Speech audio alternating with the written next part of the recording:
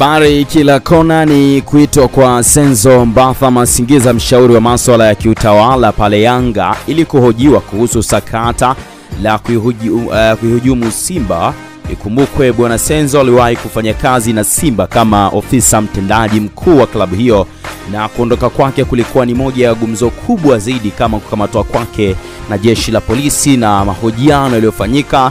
Ni ambatana nami sasa ni kujuze moja kwa moja kati ya yale yanayochukua nafasi, lakini kilichofanya pia mpaka yeye kuweza kukamatwa, lakini aliachiwa pia, na kinachoendelea mpaka hivi sasa ni nini? Karibu sana kupitia hapa Dream Online TV. Vilabu vyote hivi viwili hapa nchini imekuwa ni gumzo kweli, kwa hasa kwa mwaka huu. Msimu huu umekuwa wa moto sana. Kumbuka swala la Morrison, uh, kumbuka swala la kuondoka kwa Senzo, uh, kuna swala sasa la Chama kwenda Yanga, kuna swala hili la Mbata uh, kama kukamatwa, lakini la Mbaga pia kushikiliwa na jeshi la polisi, mawasiliano fulani kuvuja, uh, kuwasiliana na kiongozi wa Yanga.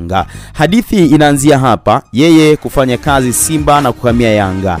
Inasemekana bwana Senzo alikuwa anafanya mawasiliano na moja ya watumishi wa Simba ili kuihujumu Simba ifungwe kwenye mchezo mbalimbali ikiwemo mchezo wa Kariakoo Derby. Kuna siku zilikuwa zi, uh, zi, uh, zinasambaa screenshots eti za Senzo na mtu wa Simba wakipanga kuhujumu moja ya mechi, Nachelea kusema lolote kwa, uh, kwa tuhuma hizi, kwani soka letu hugubikwa na mengi, hatimaye uh, hutafutwa mbuzi wa kafara. Nafikiri nakumbuka wakati Azam Football Club waliwahi kutoa tuhuma hizi, hata Ramadhani Kabwili aliwahi kusema jambo kama hili, lakini likapuuzwa. Na waza ni kwa nini, nani na ilikuwaje? Senzo na Morrison wametingisha sana soka letu kwa muda sasa, sio kwa ukubwa wao, bali kwa ukubwa wa taasisi walizokuwa wanazifanyia kazi. Inaleta picha nyingi zinazoeleweka. Eh, kuna nyakati Morrison aliwahi kusema anasumbuliwa, amepewa pesa na watu waliotumwa kwa upande wa Simba, tuhuma nzito, lakini hakuna hata mmoja amewahi kuleta majibu.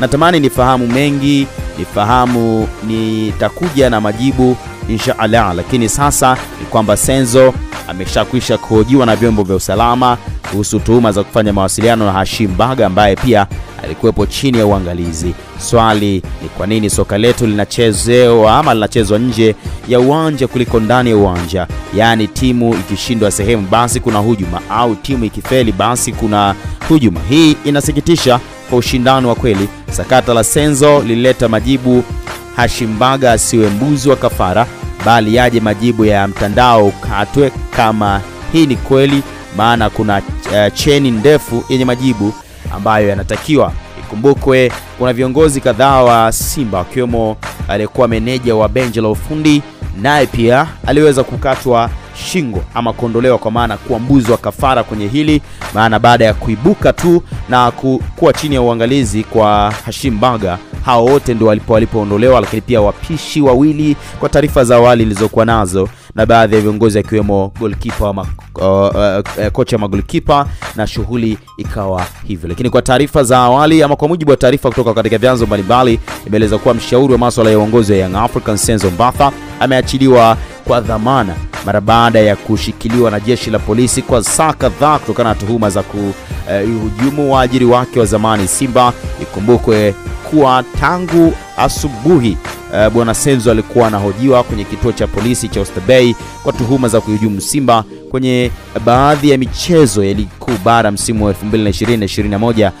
ya uchunguzi unaendelea, na sasa nadhani hatua tuliyofikia ni ya kuiachia uh, jeshi la polisi kuweza kuona inakuja na majibu gani na kile ambacho kitachukua nafasi na kuwa sehemu pia ya mjadala huu mkubwa na au kile kitakacho uh, kuwa sehemu ya maamuzi na taarifa mbalimbali kwa yale ambayo yanaweza kuzungumzwa muda wao wote. Baada ya mahojiano ya polisi, ameachiliwa na hakuna aliyefanikiwa haswa kujua ameitiwa nini. Ziko taarifa zinazohusishwa na wito wake na shutuma zinazomkabili Hashim bag kuhusiana na kuihujumu klabu ya Simba, lakini nimependa sana utulivu wa Simba kwa maana kwa upande wa uongozi wamekuwa na utulivu sana, hakujawa na mtu yeyote anayetoa taarifa uh, kuhusiana na kukamatwa kwa baadhi ya viongozi. Nadhani mara baada ya uchunguzi kukamilika, huenda kukawa na kishindo kikubwa na ambacho kitakuwa na mustakabali. CEO wa zamani wa Simba Senzo Mbatha amesikitishwa pia na yanayoendelea. Anadai kuondoka kwake Simba kwenda Yanga kumemjengea chuki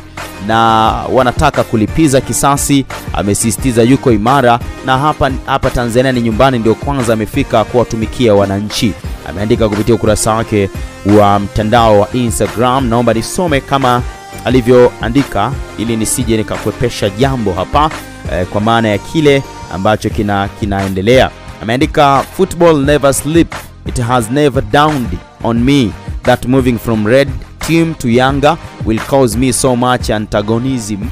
It is now evident that I have caused a hurt and hearted in Tanzania football fraternity to the extent that people will risk it all. Tarnished my name in uh, pious the revenge. I'm selfly and sound. I'm home and I'm looking forward to serving timu ya wananchi. Asanteni wananchi wenzangu tuko pamoja daima mbele nyuma mwiko hiyo ndo ilikuwa posti ya mwisho ya Senzo Mbatha Masingiza ambaye hata kupitia kwenye ukurasa wake wa mtandao wa kijamii uh, wa Instagram kwenye biography yake wala hakuna sehemu anayoandika kwamba anahusika na Yanga. Alipoandika ameandika uh, football administrator, my Instagram page, my thoughts Tanzanian only that. Hamna sehemu ambako ameandika uh, kujihusisha na Yanga. Hili pia limekuwa ni mjadala, kwa maana imekuwa kwaje, nini kinachoendelea, na mjadala mzima pia ukaanza kuhamia kwenye kufahamu nini kinachoendelea baina ya hichi kinachotajwa kwamba kuna kuhujumiwa na mengine mbalimbali. Nadhani sasa ni wakati wa kuliachia jeshi letu la polisi kuweza kukamilisha uh, uchunguzi wake na mwisho wa siku ije ama waje na majibu sahihi kuhusu hichi kinachoendelea na kuitwa kwake pia polisi ilikuwa ni nini, ili tuweze kupata pia uh, taarifa sahihi wa kile ambacho kina, kinaendelea. Ni jambo ambalo halihitaji masiara kwa mustakabali mzima wa soka letu, lakini pia ili kuweza kupata usahihi uh, wa kile ambacho kinaendelea. Soka la Tanzania linaendeshwa na Simba na Yanga, hawa ndio wenye maamuzi makubwa juu ya soka letu uh, na ndicho ambacho tunakifahamu na kimekuwa uh, wazi kwa miaka kadhaa ya hivi karibuni, na hakuna yoyote ambaye ataweza kupingana na hili, na kwa kiasi kikubwa nadhani huu ni wakati wa kuliachia jeshi la polisi kutuletea majibu sahihi ya kile ambacho kinaendelea na mustakabali mzima wa hali halisi ya mara baada ya mahojiano, nini hasa kinaweza kuwa na uh, sehemu hiyo. Mimi niishie hapo, nikuachie wewe pia, una nafasi yako ya kuweza kuniachia maoni hapa. Unadhani ni kipi ambacho kinaweza kuwa sehemu ya majawabu ya hichi?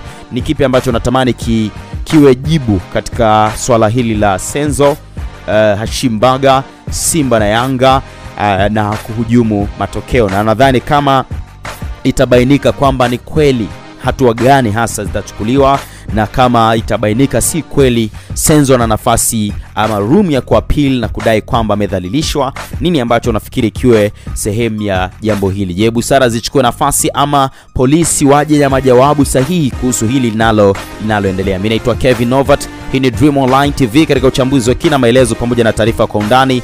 Hiyo ndio ilikuwa taarifa ya mjini kuhusu Senzo kamatwa na jeshi la polisi, lakini kuachiwa huru pia, lakini kwamba kuna uchunguzi unaendelea na jeshi la polisi limethibitisha kupitia kamanda eh, Kinondoni pale wa Kinondoni amethibitisha mkombe kwamba ni kweli kulikuwa kuna mahojiano na amefanyiwa mahojiano na maafisa uchunguzi au maupelelezi katika kufahamu baadhi ya maswala na ufafanuzi utatolewa pale ambako uchunguzi utakamilika. So, unajua uchunguzi haunaga mwisho eh, kwamba huwezi kusema mwisho kesho ama ukaharakisha uchunguzi. Kwa hiyo muda utakaokamilisha ndio muda utakaopata majawabu.